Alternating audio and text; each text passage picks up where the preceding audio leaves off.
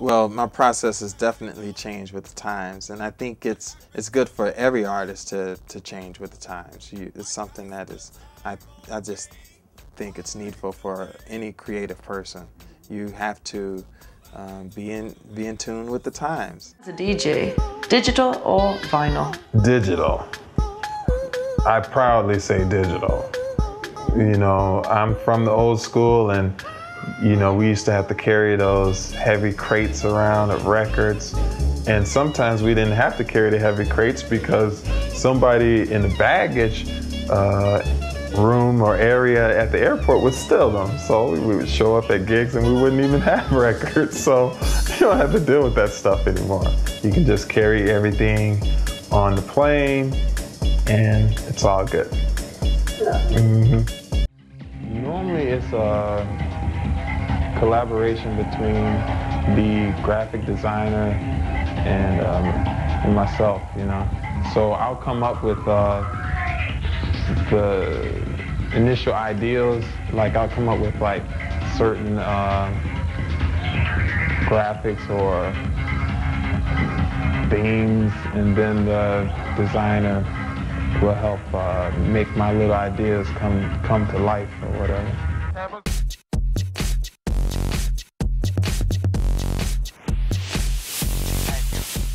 Original plan was that I was supposed to become a chemical engineer. I was gonna go to graduate school and potentially get my PhD in it and um, and do something in chemical engineering. I have no regrets leaving it behind because I just love music so much. And so in the beginning, it's it's just more or less about getting something that is definitely within your budget. You don't want to go broke. You don't want to take out loans, going to a loan shark, and next thing you know, they cut off your hand and you can't mix. So you don't want to go that route, you know. And just be just be really happy with what you have and try to do uh, the best you can with what you have. Uh, wow. Um, during those days, I was really into experimenting with sounds and, and, and, all types of stuff like that, you know, being influenced from some of the Doctor Who sounds, the, the sounds that you hear in the soundtrack for Doctor Who. That's where my head was at during those days. I was always like, okay, I'm just going to make my own sounds. I want something to be new, different, fresh, you know?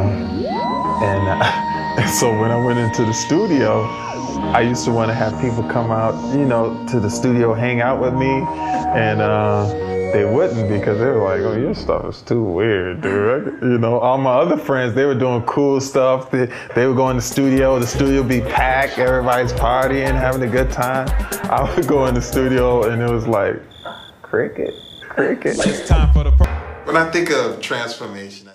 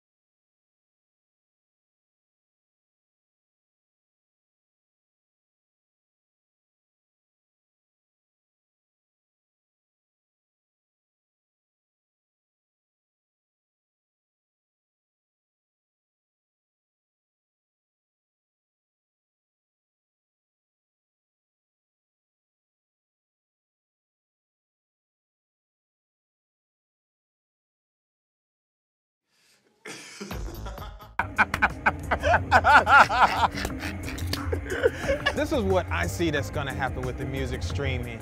I see you get these, these really big sites like Tidal, Jay-Z, isn't that his new music thing? You got iTunes that's gonna do a new music streaming, and then they're gonna try and take over everything so that even the underground artists on the music streaming won't get any visibility. So you still won't be able to discover more underground music because when you go there, it's gonna be all the commercial popular music.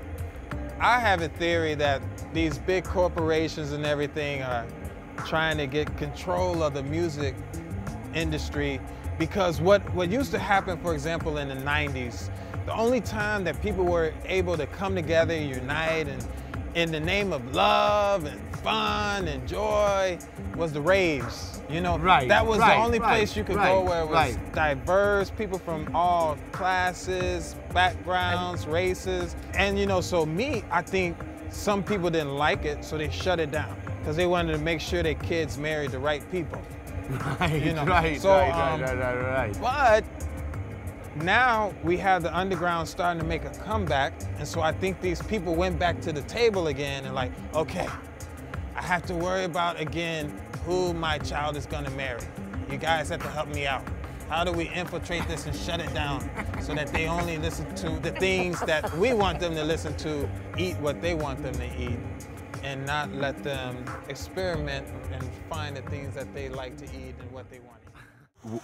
one thing to prevent you from having, I guess they call them writer's block, but uh, creative block is that uh, you just want to um, always go in and number one, believe and trust that you'll be able to to do something.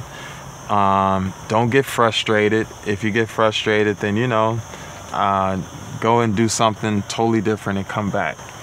But uh, just just do it. Believe in yourself and trust that uh, you you're gifted and you have the talent.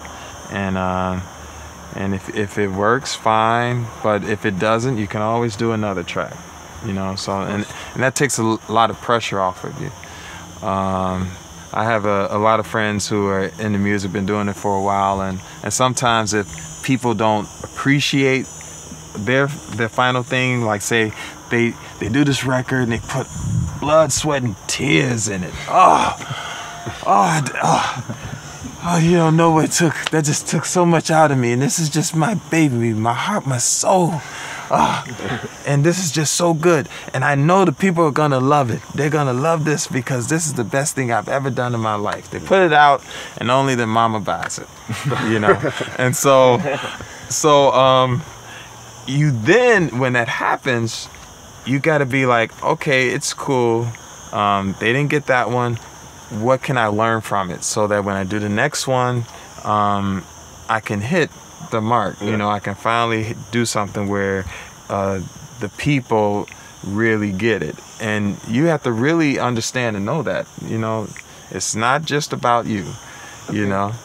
Oh, I have tons of analog gear and um, some some new stuff. You know, of course, I have the my computers with all the soft synths and and all of that stuff, but tons of analog gear.